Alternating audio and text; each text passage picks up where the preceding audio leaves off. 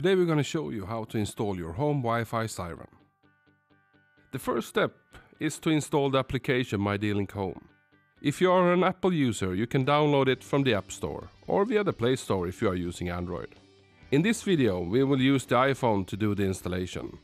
Let's start by clicking on the mydlink Home icon. If you are an existing mydlink user, please sign in with your account details. If you are a new user, tap on the sign in button to register for a new account.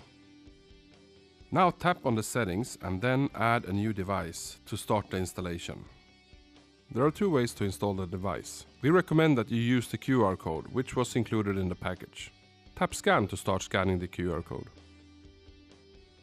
Now power your device and tap next to continue.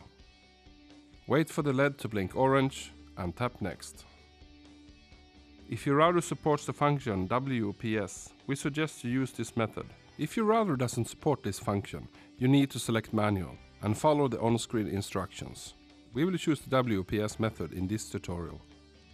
Now you need to press the WPS button on your Wi-Fi siren. When the LED blinks green, tap Next.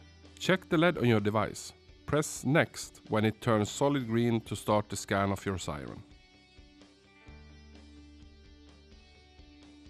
The installer has now found your device and the current time zone has been set. To change this, tap on Change or Confirm to continue.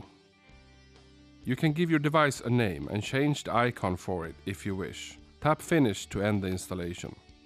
The Wi-Fi siren has now been installed on your mydlink account. To access the device and its settings, tap on the name of it in the list.